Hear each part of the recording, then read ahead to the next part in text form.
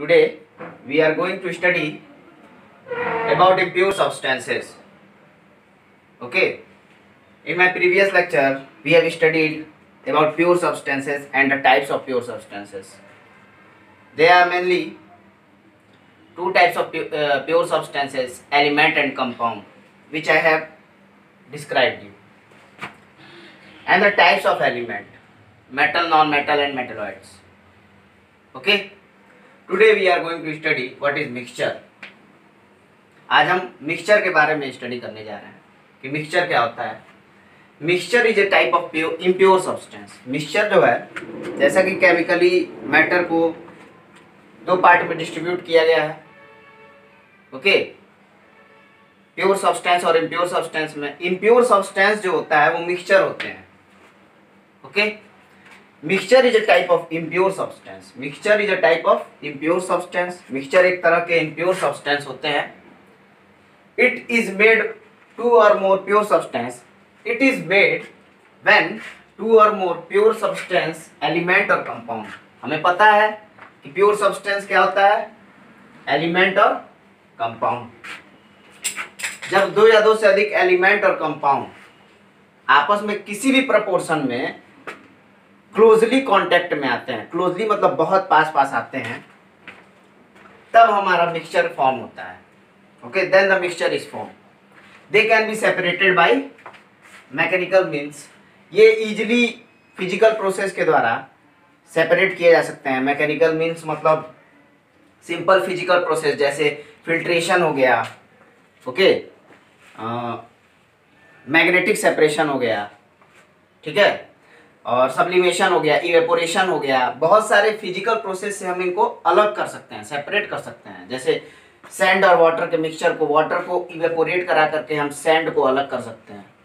Okay तो ये simple mechanical process के द्वारा सिंपल फ़िज़िकल प्रोसेस के द्वारा हम मिक्सचर के कंपोनेंट्स को सेपरेट कर सकते हैं।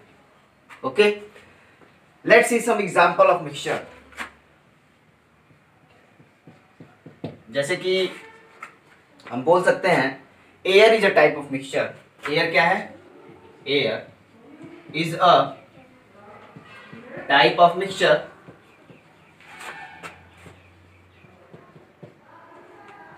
air एक तरह का मिक्सचर होता है विच इज़ मेड बाई बहुत सारे गैसेस का एयर क्या है? मिक्सचर है, जो किसी भी प्रपोर्शन में आपस में मिल करके एयर का फॉर्मेशन करते हैं। Air is a mixture it is made up of nitrogen nitrogen oxygen carbon dioxide water vapour okay and some other components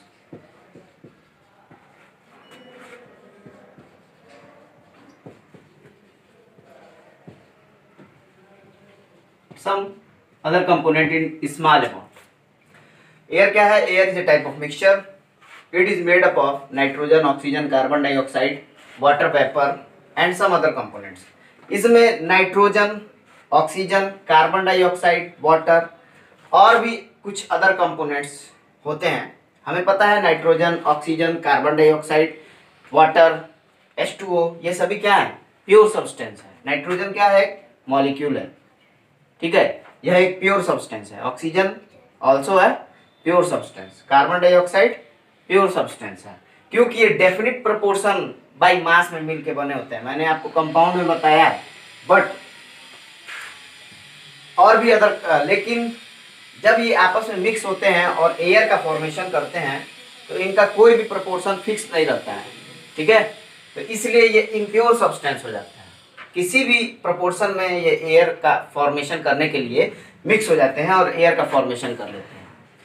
और भी एग्जांपल हम दे सकते हैं, जैसे कि gun powder gun powder gun powder factory में यूज़ होता है। तो gun powder is a mixture of is a mixture of mixture of nitre okay nitre क्या होता है? Potassium nitrate. पोटेशियम नाइट्रेट को हम नाइटर कहते हैं। ठीक है? पोटेशियम नाइट्रेट क्या है? कंपाउंड है। कंपाउंड है। कंपाउंड क्या होता है? प्योर सब्सटेंस होता है। Potassium nitrate, sulphur. ठीक है? Potassium nitrate, sulphur and coke. Carbon. ठीक है? तो ये सभी क्या है? प्योर सब्सटेंस है। पोटेशियम नाइट्रेट सल्फ़र कार्बन ये सब क्या है? प्योर सब्सटेंस है। और इन तीनों को जब हम मिक्स करते हैं तो किसी भी प्रपोर्शन में मिक्स होने पर इसमें मास कोई डेफिनेट निश्चित मात्रा नहीं होती है। ठीक है? एक डेफिनेट प्रपोर्शन नहीं होना चाहिए। किसी भी प्रपोर्शन में पोटेशियम नाइट्रेट सल्फ़र कार्बन मिल करके गन पाउडर का फॉर्मेशन करते हैं। ठीक है? तो ये कुछ एग्जाम्पल्स हैं मिक्सचर के, जो मैंने आपको दिया।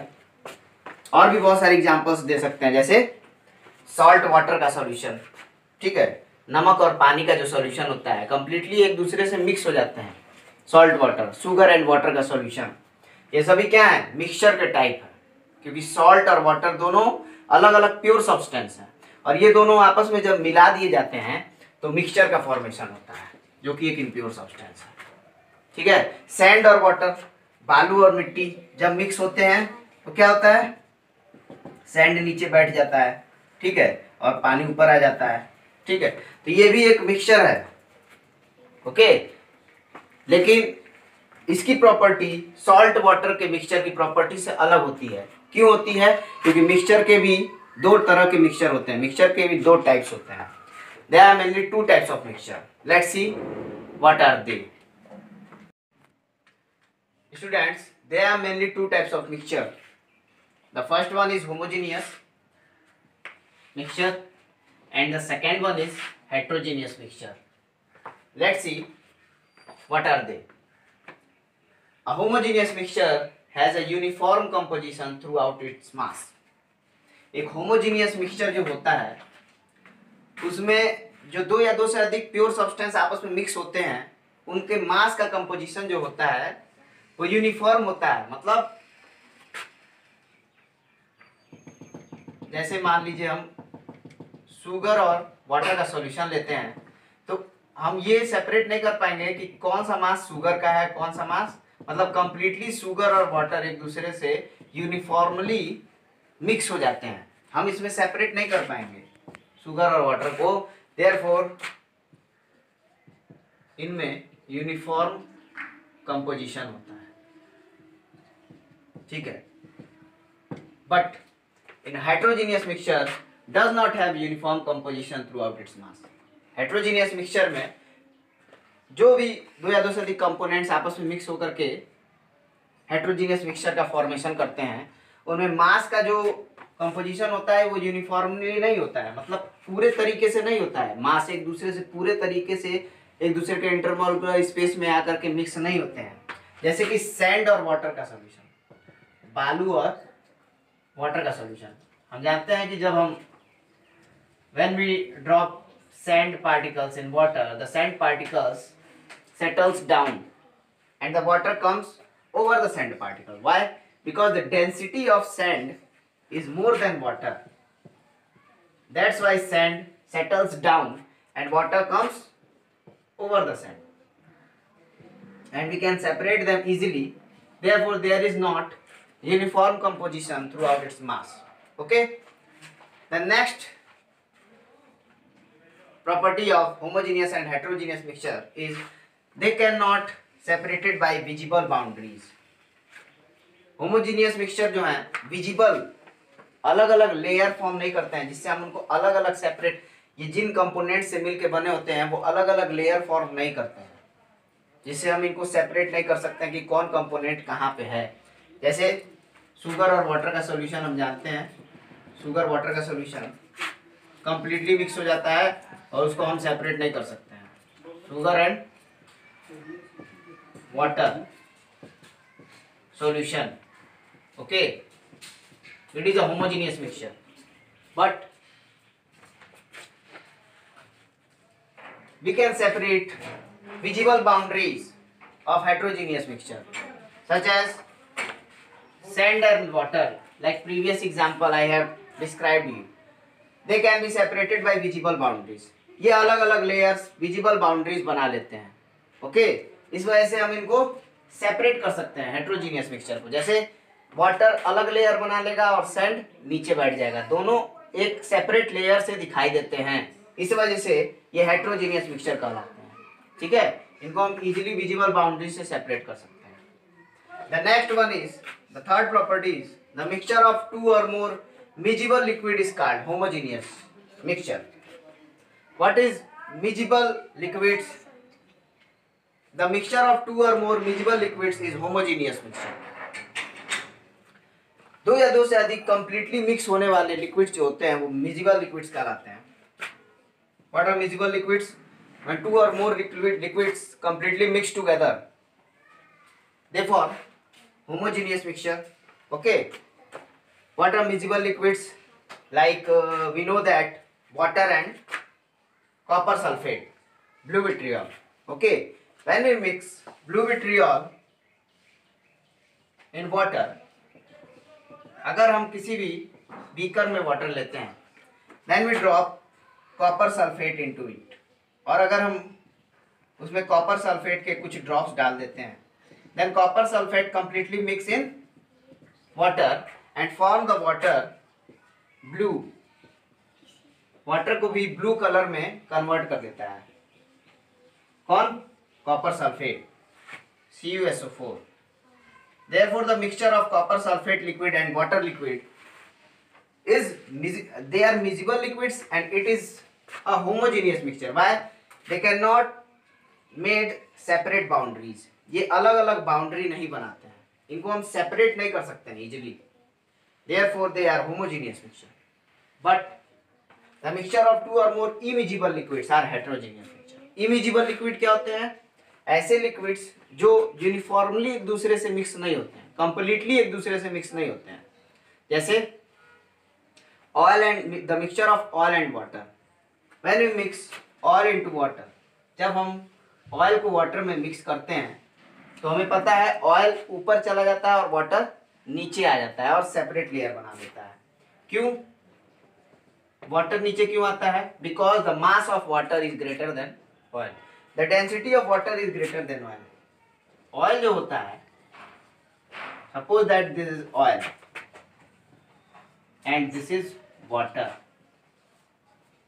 they are immiscible liquids why oil भी लिक्विड स्टेट में होता है वाटर भी लिक्विड स्टेट में होता है but they are immiscible because they can form separate layer ये अलग अलग लेयर बना लेते हैं और एक दूसरे से सेपरेट हो जाते हैं।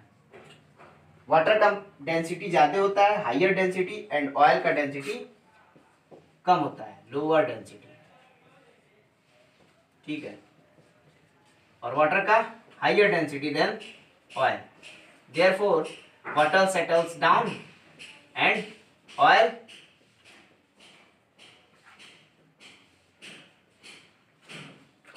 ऊपर चला जाता है। जिस वजह से हम इसको इजीली सेपरेट कर लेते हैं, ऐसे लिक्विड्स जो कंप्लीटली एक दूसरे से मिक्स नहीं होते हैं, वो इमिजिबल लिक्विड्स कहलाते हैं। The mixture of immiscible liquids are heterogeneous mixture these are the types of mixture and the difference between these mixture in our next video we will study some other types of mixture thank you